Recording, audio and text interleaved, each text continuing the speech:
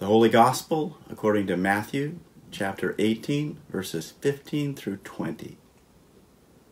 Jesus said to the disciples, If another member of the church sins against you, go and point out the fault when the two of you are alone. If the member listens to you, you have regained that one. But if you are not listened to, take one or two others along with you, so that every word may be confirmed by the evidence of two or three witnesses. If the member refuses to listen to them, tell it to the church.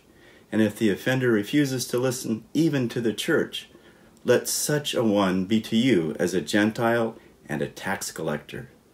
Truly I tell you, whatever you bind on earth will be bound in heaven, and whatever you loose on earth will be loosed in heaven. Again, truly I tell you, if two of you agree on earth about anything you ask, it will be done for you by my Father in heaven.